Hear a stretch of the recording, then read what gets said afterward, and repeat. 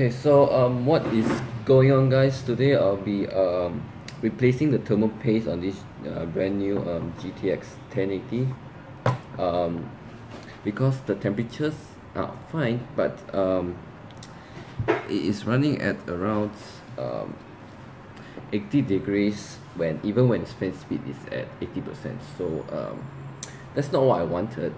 Um, replacing a thermal paste on the GPU can make a huge difference like 10 degrees. That's the difference. Uh, if you replace a thermal paste on uh, a CPU it only makes 2 to 3 degrees difference. So um, I'm gonna open up this reference cooler. This is the reference cooler you can see right here. And um, what we need is a big screwdriver and a small screwdriver and a few tissues. So um, basically to open this card it has a total of 20 screws uh, you can see that they have four big screws here and 16 small screws all around. So um, you have to open uh, take out every screws here um, and take out the um, the five screws here and uh, two of these screws here. And before you can remove the cooler the rest of the screws here you don't need to do anything to it. Just leave it there. So um, yep uh, after doing this I'll break void my warranty but it's still better than having high temperatures. So um, let's begin. So um, what we need to do is open up um, this uh, small screw and remember to wear gloves just to uh, prevent any static charges. So we're gonna uh, just start unscrewing this thing. Alright that's the first screw.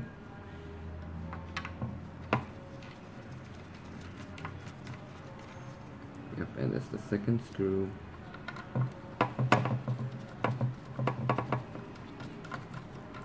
basically doing this um, you don't need um, a degree or a scholarship in mechanic and mechanical engineering or any engineering. You just the basic knowledge you need to know is know how to build a PC and you can do this. Um, this um, the chances of damaging your card is like very low like one percent because it's you are basically just changing the thermal paste you're not um, alternating anything. Uh, you are just doing it yeah even my grandma can do it why not you? So um, a lot of people don't dare to do it and people have been, have been saying on my previous video when I changed directly on my um, 980 Ti the brand new one and then I changed it and people a lot of people are very unhappy with it. But um, after changing it my temperatures was have never exceeded 70 plus degrees. And I was pretty happy with it. Okay so this is the first back plate oh below it oh wait no this is not. Yeah this is not the screw you see there's the back plate down here. We're gonna put this aside and now let's go down to the second back plate. So we have quite a lot of screws here to, to work with. Like that. These are the big screws here.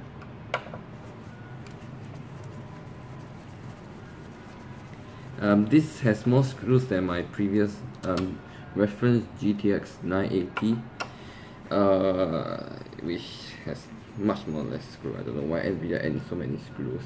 So let's take a look at what's inside. What's inside here? So I'm, I'm very excited to, to see what's inside this here. So we're gonna remove all this thing. Okay then there's the four small screws here. It's kind of boring watching me um, removing the screws huh? this, yeah, this one screw I have to be careful with the screws. Okay, so um, there's one more here. Kind of tough. If you don't wish to um, replace the thermal paste it's fine but the temperature will be quite hot.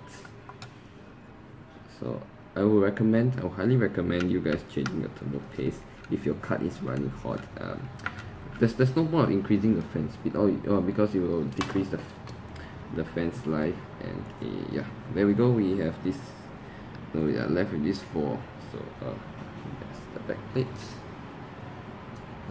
so we can see there's thermal pads down here so I think the thermal pads are for this this, this thing. So we, we not we should not touch the thermal pads. So let's turn over. We can see that we have a lot more screws here to do with. So um I'm gonna remove all of these screws here.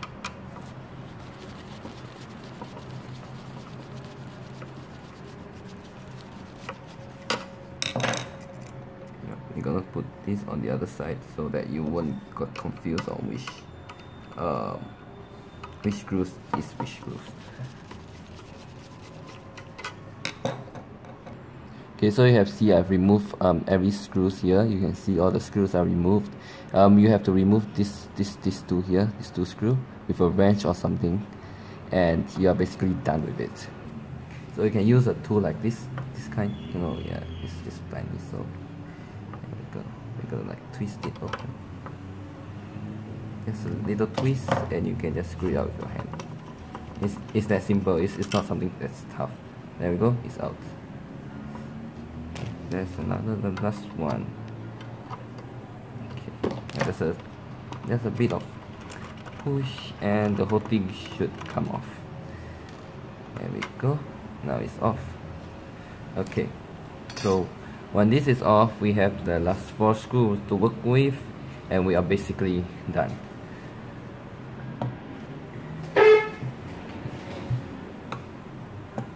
There goes my warranty well no one actually gives a fuck about it right? So put the screws here we gonna um we need to do it alternative so um we won't damage the board.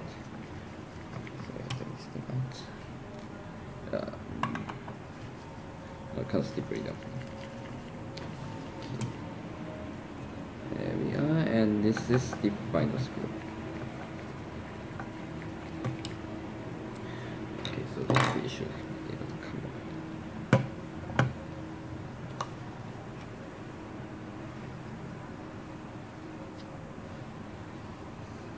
um should be able to come off right now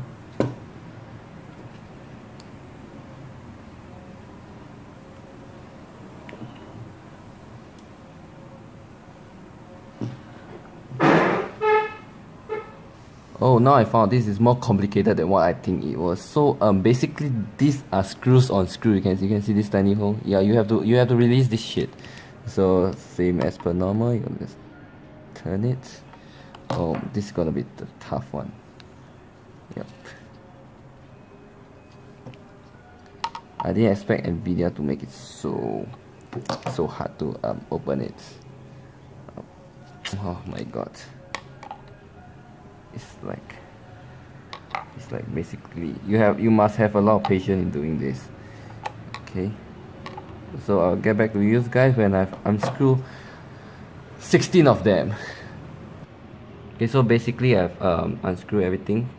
It's tough. And then we can remove it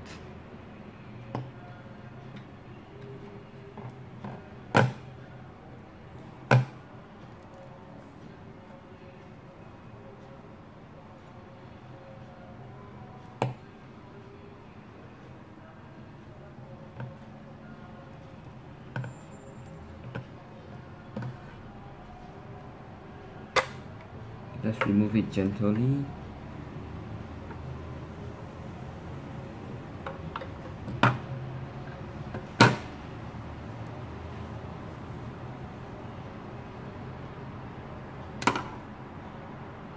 Okay.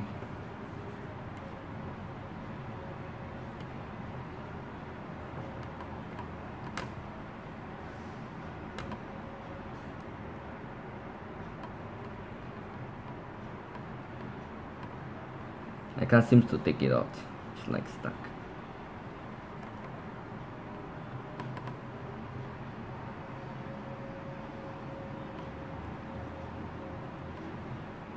Okay, it's out. So um yeah, there we go. We have the um GP out. And um this is the heatsink.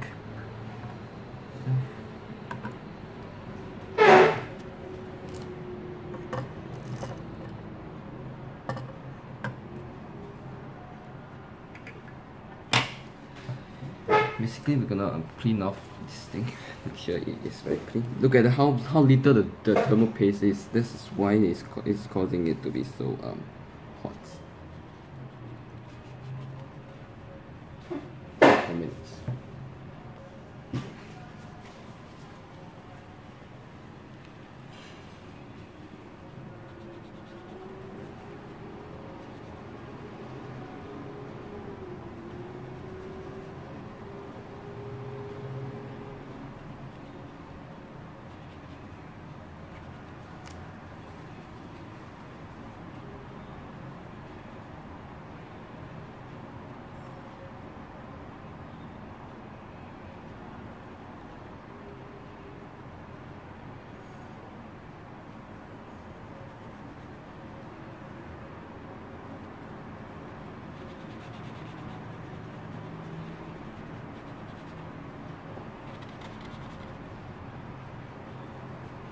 trying to make it as clean as possible so that um can you hear the sound? The squeaky sound very clean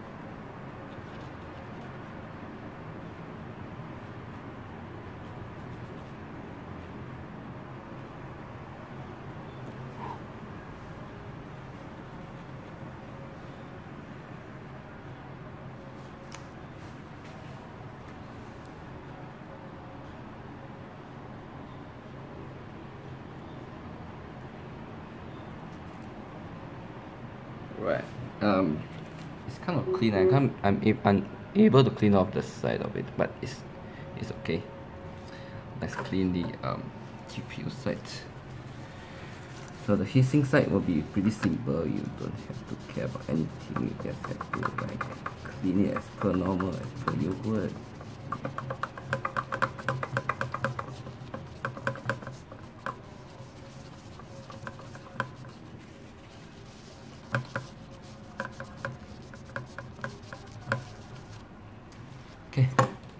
clean? Okay. I just want to make sure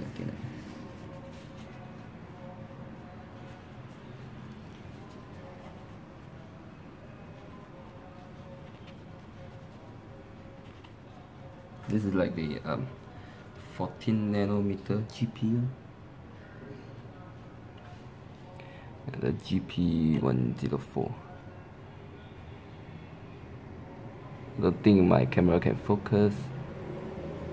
Yep there we have it. Nice and shiny. So now we're gonna apply a new thermal paste to it. So.